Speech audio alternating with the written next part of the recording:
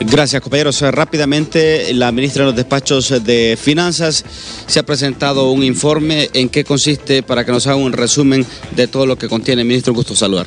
Gracias, un gusto. Eh, bueno, lo que hemos presentado es el informe eh, del cierre eh, de las cifras fiscales del 2019 que generalmente toma todo el mes eh, de enero terminarlo, ¿verdad? Porque es, como se cierra a diciembre de 2019.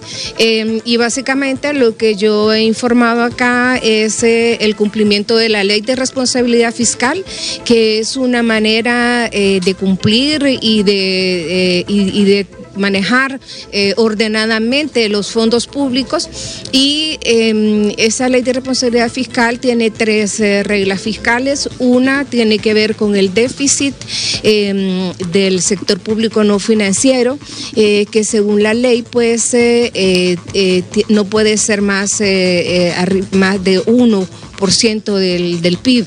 Entonces, eh, esa, se cumplió. Eh, he destacado dentro de esto que mm, son seis años eh, de consolidación fiscal, son seis años de disciplina y de manejo ordenado de los, de los fondos públicos y que mm, arrancamos en el 2013 con ocho, casi eh, ocho puntos del, del, PIB y hemos ido eh, anualmente eh, mejorando y este año cerramos con un punto del PIB. ¿La deuda, ministro? Eh, la deuda también eh, mencionamos acá que cerramos al, eh, a diciembre del 2019 con una deuda de 45.9 del, del, PIB. Ese, y esta mm, es una deuda que mm, más o menos uh, andaría arriba de los 11 mil millones de dólares.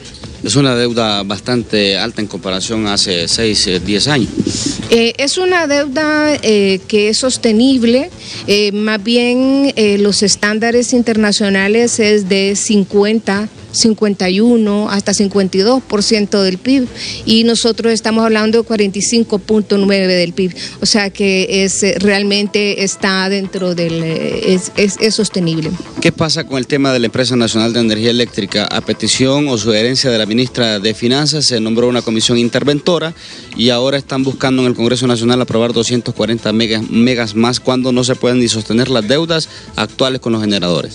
Eh, no, fíjese que la Junta Interventora eh, más bien eh, ellos han planteado la necesidad de, trabajar con el ODS de manera cuidadosa, el cálculo de, si realmente se ocupan esos 240 mega o no, ¿verdad? Eso ha sido más bien la, posición de, de, la Junta Interventora.